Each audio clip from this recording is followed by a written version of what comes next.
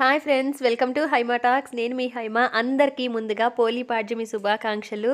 మీరందరూ కూడా చాలా బాగా చేసుకున్నారు అని అనుకుంటున్నాను. అలాగే మీరు ఏ కోరిక అయితే స్వామివారికి అమ్మవారికి చెప్పుకున్నారో అవన్నీ కూడా నెరవేరాలని కోరుకుంటూ నేను ఎలా పోలీ పాడ్యమి చేసుకున్నాను అనేది షేర్ చేస్తాను. అలాగే సాక్షాత్తు శివయ్య నాకు ఇచ్చిన వరం అనుకుంటాను ఈ కార్తీక మాసం చివరి రోజు. నేను నెలంతా ఆయనకు పూజలు చేసినందుకు ఆయన నాకు ఇచ్చిన వరమేమో. అది ఏంటి అనేది ఈ వీడియోలో నేను షేర్ చేస్తాను. నెక్స్ట్ ఇక్కడ వచ్చేసి ఏంటంటే మొదటగా మీరు చూసింది ఇంట్లో చేసుకున్న పూజ. ఇంట్లో చేసుకొని వచ్చి తులసమ్మ దగ్గర అయితే ఇప్పుడే అలంకరిస్తున్నాను అనమాట మార్నింగ్ అలంకరించాను. యాక్చువల్గా మీ అందరికి తెలిసే ఉంటుంది వైజాగ్ ఇటువైపు అంతా మాకు తుఫాను ప్రభావం ఉంది నిన్నంతా కూడా.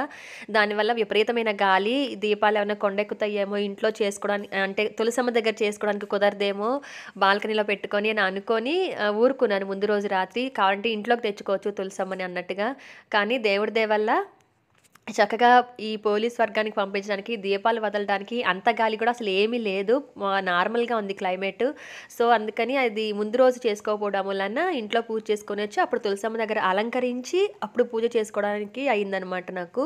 సో ఇక్కడ నేను పద్మ ముగ్గు అవన్నీ వేసి కార్తీక దామోదరుని వినాయకుడిని పెట్టుకొని చక్కగా పూజనే చేసుకున్నాను. మీరందరూ ఎవరైనా నదుల దగ్గరికి వెళ్ళారా? లేకపోతే ఇంట్లోనే తులసికోట దగ్గర చేసుకున్నారా? ఎలా చేసుకున్నారు అనేది కింద కామెంట్స్లో చెప్పండి. అలాగే పోలీ మీ పూజా విధానం అవ్వచ్చు దాని గురించి సంబంధించి డౌట్లు అవ్వచ్చు. అలాగే రాత్రి కూడా నేను అనుకోకుండా ఒక వీడియో పెట్టాను అప్పటికప్పుడు లెవెన్కి అలాగా. పూజ అంతా ఈ పూజ అంతా చేసిన తర్వాత ఈ వాటర్ని ఏం చేయాలి? పూజా సామాన్ ఎలా సర్దుకోవాలి? కార్తీక దామోదరుని ఏం చేయాలి? ఇవన్నీ కూడా ఒక వీడియో పెట్టున్నాను. అది కూడా చ- అప్పటికప్పుడు పెట్టినా కూడా చాలామందికి నచ్చింది. నాకు ఈ వీడియోలన్నీ సపోర్ట్ చేసినందుకు థ్యాంక్ యూ సో మచ్ అండి. అలాగే నేను వ్లాగ్స్ కూడా పెడుతున్నాను మధ్య మధ్యలో. నా వ్లాగ్స్ కూడా సపోర్ట్ చేయండి ప్లీజ్. అనుకుంటున్నాను సపోర్ట్ చేస్తారు అని అనుకుంటున్నాను. ఇంక ఇక్కడ స్వామివారికి తెచ్చుకున్న ఇదేంటి తులసి మాల కొంచెం చిన్నదిగా ఉందన్నమాట. అందుకని కోట మొత్తానికి వేయడానికి రాలేదు. అందుకని అలా చుట్టూ పెట్టారనమాట స్వామివారి కోట చుట్టూ పెట్టేసి నాలుగు తులసి దళాలు విడి ఉంటే కార్తీక దామోదరి దగ్గర పెట్టి స్వామివారి దగ్గర పూజనే చేసుకున్నాను.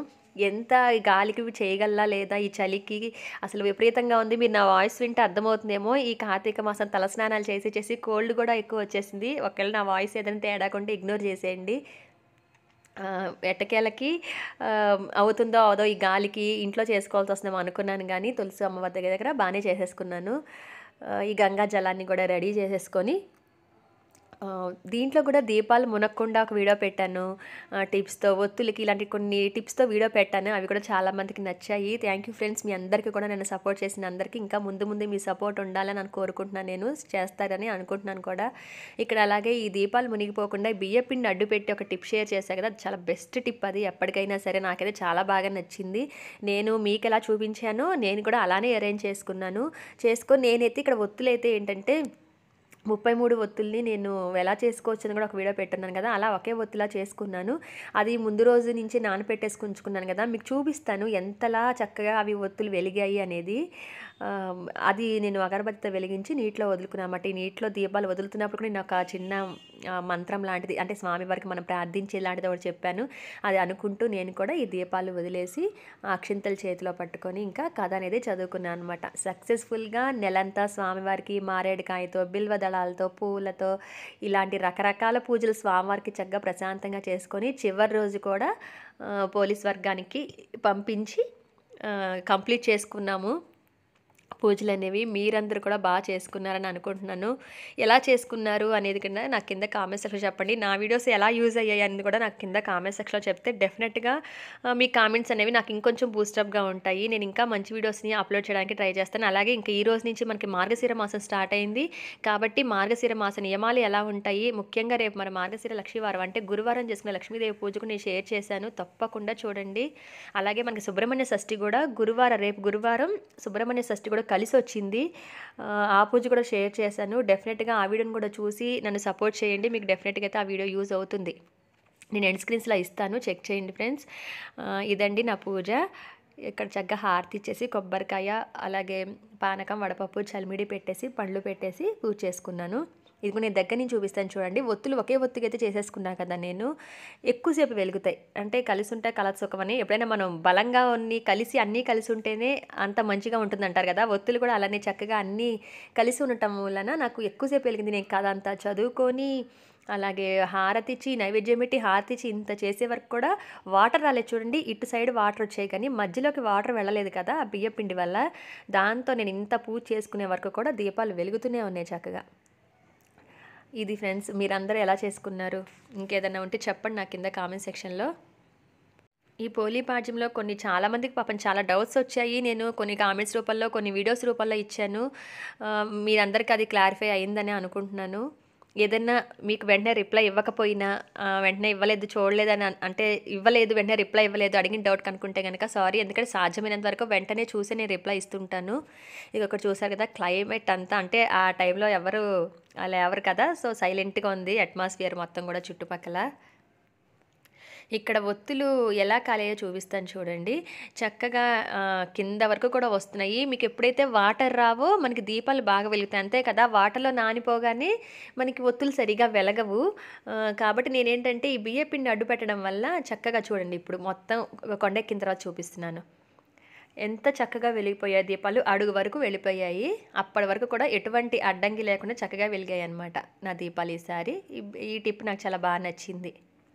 నెక్స్ట్ వచ్చేసరికి కొంచెం తెల్లారిన తర్వాత ఇక్కడ నేను గుడికి వచ్చాను చూడండి డైరెక్ట్గా శివలింగాన్ని మనం ఎక్కడ సహజంగా గుళ్ళల్లో మనం ముట్టుకోవడానికి ఉండదు. మనం ఇస్తే అభిషేకానికి పాలు లేకపోతే పంచామృతాలు తేనెలు ఇలాంటివి ఏదైనా ఇస్తే వాళ్ళు పంతులు గారు చేస్తూ ఉంటారు కదా. కానీ నాకు కార్తీక మాసం చివరి రోజు నాకు ఈ అదృష్టం అని అనుకోవచ్చు. డైరెక్ట్గా నేనే స్వయంగా సుబ్రహ్మణ్యేశ్వర స్వామికి శివుడికి అభిషేకం అయితే చాలా చాలా ప్రశాంతంగా చేసుకున్నాను. ఆవపాలు తీసుకెళ్ళాను. నేను ఇక్కడ సుబ్రహ్మణ్య షష్ఠి పుట్ట దగ్గర ఎలా చేయాలో కావాలంటే ఎవరైనా వీడియో అడగండి. నేను కింద కామెంట్ సెక్షన్లో షేర్ చేస్తే కనుక నేను డెఫినెట్గా మీకు వీడియో అయితే అప్లోడ్ చేయగలను.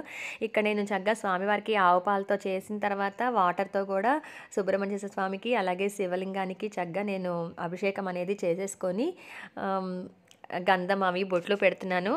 ఇది లక్కనే చెప్పాలి. ఎందుకంటే మీరు చెప్తే నమ్మరు ఈ టెంపుల్ దగ్గరికి రాణిస్తారా లేదా అని ఆలోచిస్తూ నేను ఒక్కసారి దర్శనం చేసుకున్నాను. కానీ కార్తీక మాసం అంతా కూడా నేను ఎప్పుడు అభిషేకం అది చేయలేదు. స్వామివారు అనుకున్నారేమో దగ్గరగా ఉండి కూడా నా దగ్గరికి రావా నువ్వు అని. అలా నాకు కార్తీక మాసం చివరి రోజు నాకు ఆయన అవకాశం ఇచ్చారు. నా చేతులతో నేను వెళ్ళి స్వామివారికి అభిషేకం అనేది చేసుకున్నాను. అది తొందరగా అలా దక్కదు. ఎందుకంటే మనల్ని ముట్టుకోనివ్వరు విగ్రహాలని. కానీ నాకెందుకో ఇవాళ నాకు అదృష్టం కలిసి వచ్చింది కార్తీక మాసం చివరి రోజు లోపల నాకు చేయవా అభిషేకం అని అనుకున్నారేమో స్వామివారు. నాకు అవకాశాన్ని ఇచ్చి నేను చక్కగా నా చేతులతో అభిషేకం చేసుకొని ఒక చిన్న బిల్వదళం పెట్టి పూలు పెట్టి గంధం బొట్లతో స్వయాన నేనే అలంకరించి స్వామివారికి పూలు బొట్లతో ప్రశాంతంగా పూజ చేసుకొని వచ్చాను. కార్తీక మాసం అంతా ఆయనకు నేను భక్తితో చేసినందుకు నాకు చివరి రోజు ఆయన నాకు ఈ గిఫ్ట్ ఇచ్చారనమాట స్వయాన నువ్వే చేసుకో నాకు పూజ డైరెక్ట్గా చేసుకో పూజ అన్నట్టుగా. ఇంకా అలానే ఇక్కడ కూడా ఎట్లాగో వెళ్ళాను కదా అని చెప్పి ముగ్గు అది పెట్టేసి బియ్యపిండితో వినాయకుడిని కూడా పూజ కూడా చేసుకున్నాను. చూస్తున్నందుకు మీకు కూడా చాలా హ్యాపీ అనిపించింది అనుకుంటున్నాను. ఎందుకంటే శివలింగానికి అలా డైరెక్ట్గా చేసుకోవడం మనకి అదృష్టమే కదా. స్వామివారికి ఇంకా దీపం పెట్టేసి ఇక్కడ కూడా పండ్లు అవే తీసుకెళ్ళాను. పండ్లు అవి తీసుకెళ్ళి ఇక్కడ వినాయకుడికి అలాగే స్వామివారికి కూడా నైవేద్యం పెట్టి పూజ చేసుకొని వచ్చానమాట ఇదిగోండి ధూపం కూడా వేసేస్తున్నాను. ఇక్కడ పక్కన చిన్న వినాయకుడు కుడివైపు స్వామివారి కుడివైపు ఎడం వైపు ఏమో చిన్న అమ్మవారి విగ్రహం కూడా ఉంటుంది. అక్కడ కూడా అంతకుముందు వచ్చిన వాళ్ళు ఎవరో ప్రసాదాలు అవి పెట్టున్నాయి అంటే ఎవరో వచ్చి మామూలుగా దీపం అది పెట్టి వెళ్ళినట్టున్నారు. సో పొద్దున్న పూజ అవి చేస్తారు కదా. పొంగలి అవి ప్రసాదాలు పెట్టున్నాయి. చూసారు కదా అక్కడ కొబ్బరి చెప్పులు పొంగలి ఇవి పటిక బెల్లం చిప్స్ ఉంటాయి కదా ఇవన్నీ ప్రసాదాలు పెట్టున్నాయి. నేను కూడా ఇలాగ స్వామివారికి అలాగే వినాయకుడికి కూడా హారతి అది ఇచ్చేసి ఆ పండ్లు అవి నైవేద్యం పెట్టి పూజ కంప్లీట్ చేసుకున్నాను. ఇదిగోండి పక్కన అమ్మవారు ఆ పక్క వినాయకుడి విగ్రహం అని ఉంది. ఎలా ఉంది?